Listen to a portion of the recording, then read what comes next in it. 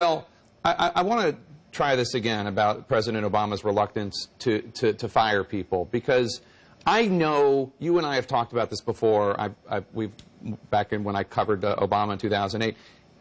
He, he hates the Washington game, and I'm sure to a degree he's watching mm -hmm. this all play out like a Washington game. Scandal, a bunch of Republicans call for somebody's head, uh, then Democrats who are vulnerable call for somebody's head, then other people chime in, the media start. And I'm sure he sees this to a degree through that lens. But doesn't that also prevent him from looking at this from the perspective of there is a serious problem here, the problem has been going on for years, and maybe this guy, even if he's the victim of this silly Washington game, maybe this guy actually isn't the best guy to be uh, heading up this department?